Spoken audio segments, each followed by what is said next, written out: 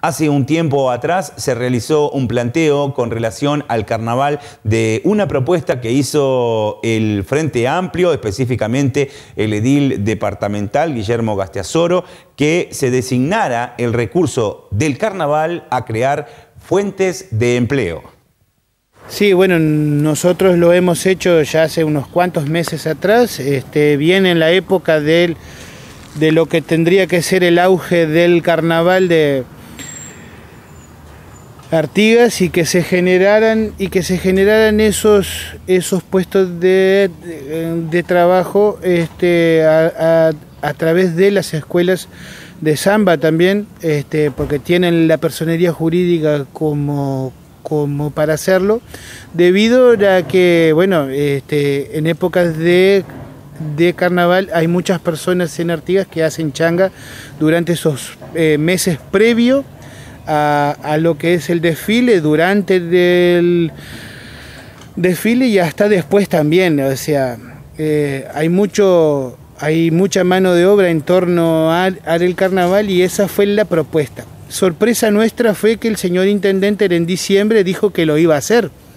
en presencia del director general este,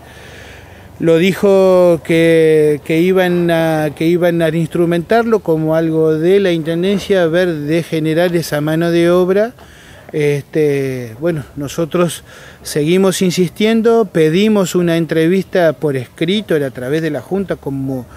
como marca la norma, este, una, una entrevista con el director general, que quien es el que estaba manejando ese tema.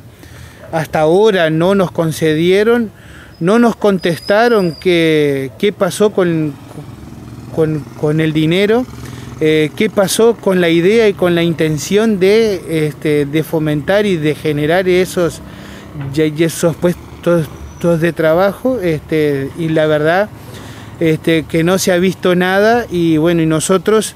tememos que esto genere este, un precedente y que bueno, y que las escuelas de samba que también recaudan para refinanciarse y todo que no lo han tenido este, este carnaval esté peligrando esté peligrando el carnaval del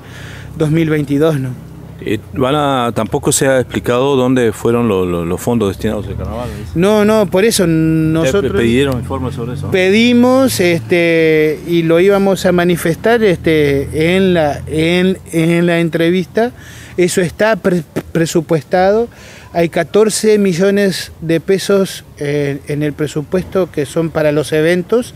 Este, entre ellos el carnaval, que solo, solo FEDESA se lleva 8 millones de eso, este, daba para generar, daba para pagar unos cuantos puestos de trabajo, este, por lo menos para ir paliando lo que nosotros queríamos era ir paliando esta situación de, de la crisis generada por, por la pandemia, ¿no?